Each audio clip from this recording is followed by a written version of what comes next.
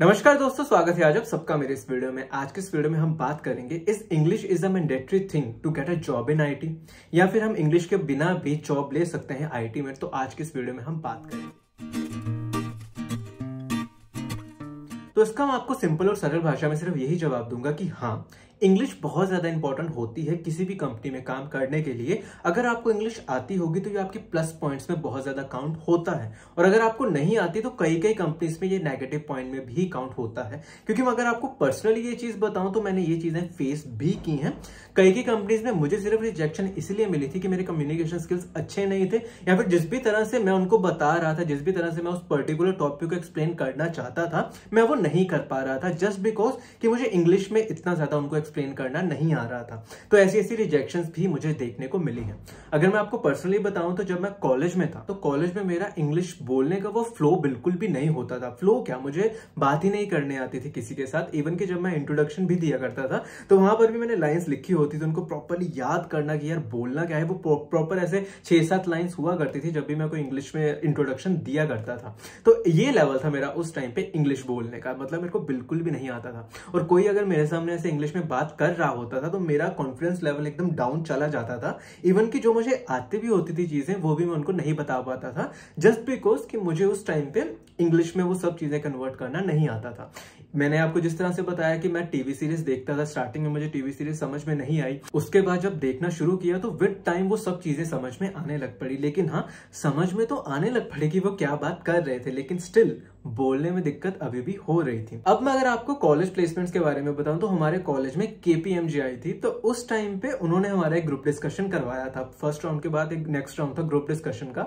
तो उसमें क्या हुआ था कि उन्होंने एक टॉपिक दे दिया था रैंडमली कोई भी टॉपिक हो सकता है या फिर कोई सिचुएशन दे दी थी।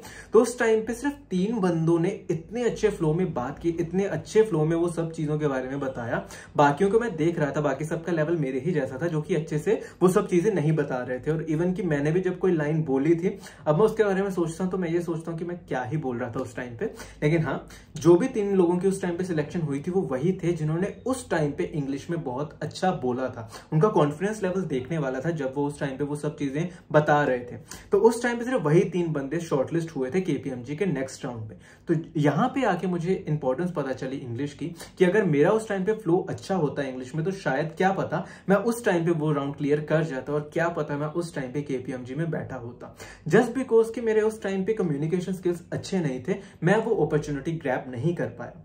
तो ये मेरा फ़र्स्ट टाइम इंसिडेंट था जब मुझे ये चीज़ रियलाइज़ हुई कि आईटी वर्ल्ड में आने के लिए इंग्लिश आना बहुत ही ज़्यादा इंपॉर्टेंट चीज़ है, क्योंकि बहुत ज़्यादा कंपनीज़ की डिमांड होती है कि आपको इंग्लिश आनी ही चाहिए। लेकिन हाँ ऐसा नहीं कह रहा कि सभी कंपनीज़ में ज़रूरत होती है। कई कंपनीज़ ऐसी भी थी जहाँ पर इंग्लिश की ज़रूरत नहीं थी। कई ऐसी ऐसी प्लेसमेंट्स में भी बैठा था यहाँ पर मैं सिर्फ़ और सिर्फ़ हिंदी में ही बात कर रहा था। हाँ ऑब्वियसली शॉर्टलिस्ट नहीं हुआ था तो हिंदी एंड टीसीएस में हुआ था जहाँ पर मैं थोड़ा बहुत इंग्लिश में उनको बता पा रहा था। क्योंकि जब पहली रिजेक्शन मिली थी तो उसी के बाद मैंने थोड़ा बहुत इंग्लिश में बात करना शुरू किया। थोड़े बहुत लेक्चर्स देखने शुरू किए इंग्लिश में किस तरह से बोला जाता है क्या क्या चीज़ें एलेबोरेट करने की ज़रूरत होती है, किस तरह से कॉन्फिडेंस बिल्डअप किया जाता है तो ये सब चीज़ें मैं सीखने लग पड़ा और फाइनली मेरी टीसीएस में जाकर प्लेसमेंट हो गई थी। लेकिन शायद मैं पहले ये चीज़ रियलाइज़ नहीं करता था कि क्यों इंग्लिश इतनी ज़्यादा इंपॉर्टेंट होती है। अब मुझे इतना ज़्यादा एक्सपीरियंस हो चुका है, इतने ज़्यादा सालों से मैंने आईटी वर्ल्ड में काम किया है, अब मुझे ये चीज़ जाकर रियलाइज़ हुई कि इंग्लिश क्यों इंपॉर्टेंट थी?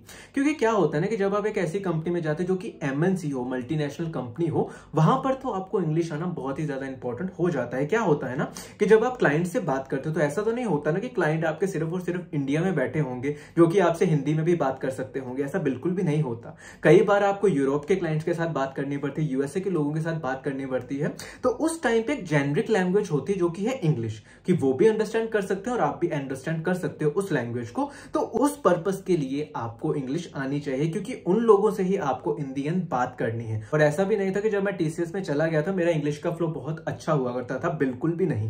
मुझे तब भी इंग्लिश में बात करने में दिक्कत हुआ करती थी। इवन कि जब मेल कोई लिखना होता था ना, तब भी मुझे बहुत ज़्यादा दिक्कत आया करती थी। रिमेंबर कि जब मैं, पहली बार जब मैं टीसीएस में गया था, वहाँ पर मुझे मेल लिखने के लिए बोल दिया गया था, मुझे मेल तक लिखना नहीं आ रहा था। सीसी में किसको रखना है बीसीसी में किसको रखना है, कुछ भी आइडिया नहीं था। वहाँ पर मैंने किसी बंदे की उस टाइम पे हेल्प ली थी कि मेरी हेल्प कर दे प्रॉपर एक ईमेल लिखने के लिए। तो ये सब चीज़ें भी मुझे उस टाइम पे फेस करने को मिली थी। तो मैं आपको यही चीज़ कहूँगा कि अगर आपको इंग्लिश पहले ही आती होगी तो ये आपके लिए बहुत ज़्यादा अच्छी चीज़ होगी। लेकिन अगर आपको नहीं भी आती तब भी आप कंपनी में जाकर ये सब चीज़ों के बारे में सीख सकते हो जिस तरह से मैंने सीखी।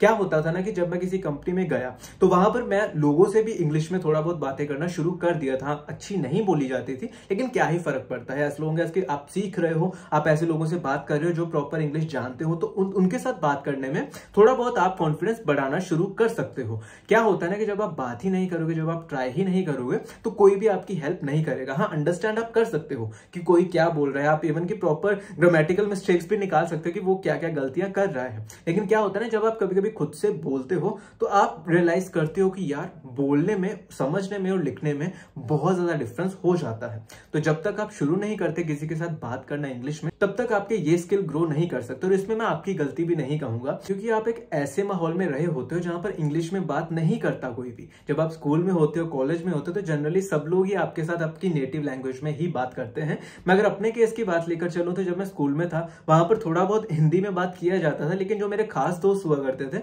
उनके साथ मैं पंजाबी में ही बात किया करता था। और इवन की कॉलेज में भी जब मैं गया था, वहाँ पर भी मोस्टली लोग पंजाब के ही थे तो ज़्यादा बातें पंजाबी में ही हुआ करती थी। तो जब मैं घर भी आता था तो घर में हमारे कभी हिंदी या इंग्लिश में बात नहीं हुई मोस्टली सब लोग एवं मम्मा पापा भी प्रॉपरली पंजाबी में ही बात किया करते हैं। तो क्या होता था ना कि जब मैं बाहर गया, दिल्ली में गया तो मुझे थोड़े टाइम के लिए हिंदी में बात करने में भी दिक्कत हुआ करती थी, क्योंकि उस तरह का फ्लो नहीं था। लेकिन हाँ जितना टाइम मैंने दिल्ली में बिताया तो मुझे प्रॉपरली लोगों की बातें समझ आने लग पड़ी। कॉन्फिडेंस बिल्डअप हो गया कि लोगों से हिंदी में किस तरह से बात की जाती है। अब मैं अगर इंग्लिश की बात लेकर चलूँ तो जब मैं कंपनी में काम किया करता था तो वहाँ पर मैं कुछ लोगों से प्रॉपरली ऐसे इंग्लिश में बात करना स्टार्ट कर दिया। जब क्लाइंट के साथ बात हुआ करती थी तो मैं समझता था कि ये बोल क्या रहे हैं और किस तरह से मैं अपनी चीज़ें बता सकता हूँ उनको लिख लिया करता था। ये सब चीज़ें मेरे बहुत ही ज़्यादा काम आई।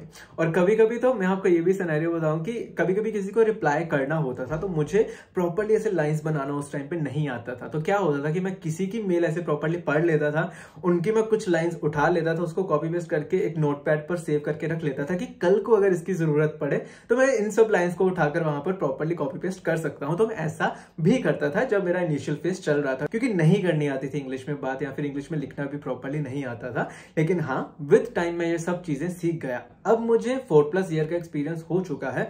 अब मुझे इतनी तो इंग्लिश आती है कि मैं किस तरह से लोगों को बता सकता हूँ। जब भी मैं कोई इंटरव्यू भी दे रहा होता हूँ तो मैं प्रॉपरली इंग्लिश में ही बात किया करता हूँ। कभी कभी अगर कोई ज़्यादा ही फ्रेंडली हो जाता है इंटरव्यू लेते लेते तो हम कभी कभी हिंदी में भी बात करने लग पड़ते हैं। लेकिन अब मोस्टली इंग्लिश में ही मेरा फ्लो रहता है। और जितनी ज़रूरत होती है किसी पर्टिकुलर कंपनी में मुझे उतनी इंग्लिश आती है। ऐसा बिल्कुल भी नहीं कहूँगा कि मैं बहुत ही प्रो हूँ। अगर इतना ही ज़्यादा प्रो होता तो मैं प्रॉपरली यूट्यूब पर भी इंग्लिश में ही बात कर रहा होता। इतना ज़्यादा फ्लो अच्छा नहीं है। लेकिन जितना है, मैं उतने में किसी भी कंपनी में काम कर सकता हूँ, किसी भी क्लाइंट से बात कर सकता हूँ, किसी भी फॉरन क्लाइंट से बात कर सकता हूँ तो मुझमें वो कॉन्फिडेंस है। तो ये सब चीज़ें किस तरह से डेवलप हुई? बात करने से। जब मैं किसी के साथ इंग्लिश में बात किया करता था तो मेरा धीरे धीरे वो कॉन्फिडेंस बढ़ता रहा। ऐसा भी नहीं कह रहा कि मैं बहुत प्रो हो चुका हूँ या मुझे बहुत अच्छी इंग्लिश आती है। बोलने बिल्कुल भी नहीं। अभी भी मैं कभी कभी shall should will would can could में कंफ्यूज हो जाता हूँ कि कब कौन सा क्या चीज़ यूज़ करनी होती, मैं अभी अभी भी कंफ्यूज हो जाता हूँ। और एक और चीज़ बता दूँ कि कभी भी अपनी नेटिव लैंग्वेज को बोलने में बिल्कुल भी ऐसा शर्मिंदा होने की ज़रूरत नहीं होती।